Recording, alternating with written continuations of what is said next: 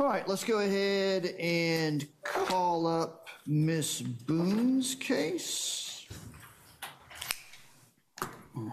State of Florida versus Sarah Boone, 2020 TF 2603. State of Florida, Andy Cacciatore on behalf of the state. defense. Frank Bankowitz.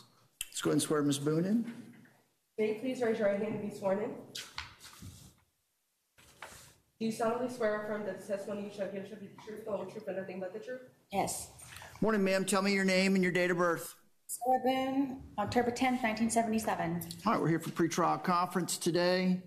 Mr. Cacciatore, where do you stand in preparing to proceed forward to trial? State's ready, Your Honor. Mr. Bankowitz, where do you stand in regards to preparing I'm for sorry, the defense is not ready. We're requesting a continuance. Uh, We are having difficult time finding an expert who's willing to work for uh, the JAC rates. And um, so I'm still, I- I- it's an essential part of the case, basically. It's never been uh, initiated before by any of the prior attorneys that I'm aware of. In broad terms, what's the nature, what's the field? spouse defense. Okay. Statutorily, we have to give the state notice, uh, sufficient time, and name of the expert and the essential elements that they'll be testifying to. Mr. Cacciatore, what's your position in regard to uh, the defense request for continuance? Um, I would have no objection to uh, another role. So, Mr. Bankwitz, how deeply have you plumbed the depths of the pool of experts in this field to, to find out um, or find one who's willing to work for the JAC rate? Well, I've actually talked to three, and uh, they don't have contracts with JAC and are not willing to work with JAC. Uh, And I- I've made some other inroads uh, with uh, battered woman shelters, trying to get their psychologists, you know, who'd be willing, problem is willing to testify, basically. Okay. Uh, Because of the concern about the compensation rate for testimony? Well, that's one of the things. uh, And to be honest with you, this case has had so much notoriety uh, that people don't want to be involved. Okay.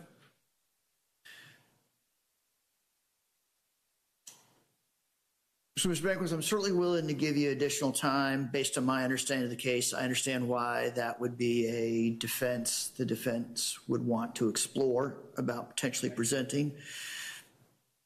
What I'm not sure about is whether the inability to find an expert forever delays the trial of the case. I- I wouldn't expect it to be a forever delay, Judge. Uh, And you know me better than that. Mr. Cacciatore, well, I just want to make sure everyone in the room understood that, you know, I'll give reasonable amounts of time to prepare a defense. The defendant's entitled to an adequate defense, but they're not necessarily entitled to the exact defense they would prefer to have if resources were unlimited. So, uh, Mr. Cacciatore, remind me, where are we as far as lining up your various homicide cases for trial? I know we have some things set to go to trial in the June trial period. Yes, we have both uh, Mr. Herlong and Mr. Soel set for then.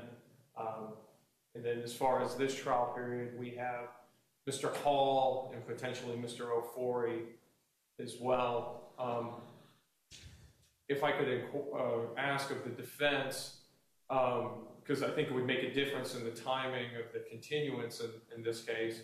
Does the defense intend to hire an expert to testify generally as to the, precepts and the things that go along with battered spouse syndrome? Or do they intend to hire an expert that will evaluate Mrs. Boone and want to comment on her directly? And the reason I ask that is because I think the case law is clear that if it's the, the latter thing, then the state is entitled to have her sit down with their, with our own expert to be evaluated as well. So that would obviously take more time if that is going to be uh, the, the path they're going to go. Mr. Bankowitz, are you in a position to Number two is, number two is definitely what we're looking at, Judge. Uh, Although it, it- number one is, would be incorporated in that as far as their general ability and their, you know, expertise in the area. Would, would you agree that if in fact you retain an expert and they're going to opine specifically on Ms. Boone's state of mind at the time of the incident, that that opens the door for the state to Oh, also most have an definitely. expert? All right. Most definitely.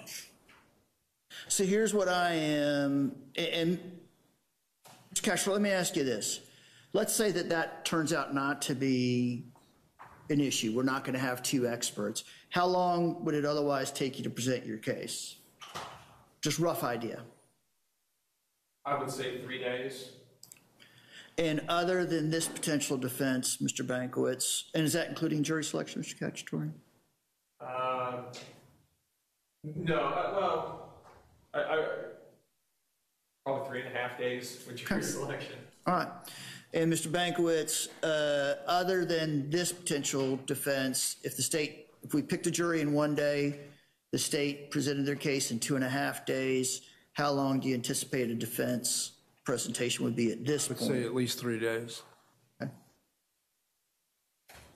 So here's what I'm thinking. Uh, I'll grant the continuance. I'm thinking continuing out to the July 11th pretrial, July 24th trial period.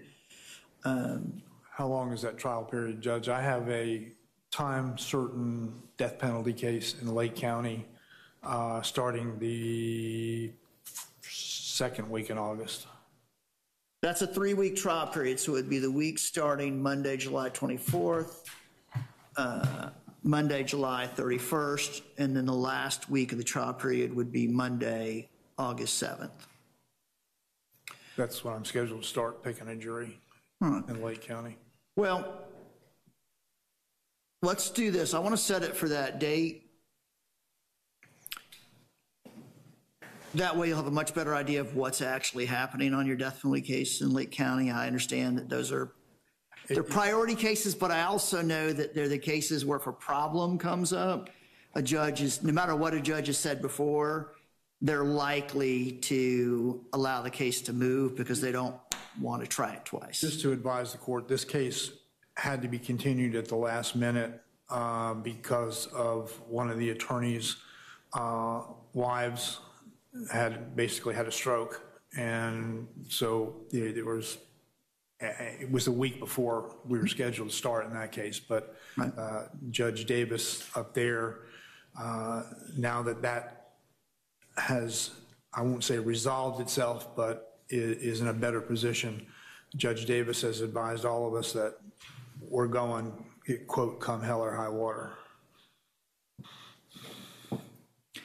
See, I try not to say things like that because I feel like I'm just tempting Well, that's fate. just Lake County, Judge. What do you expect? Well,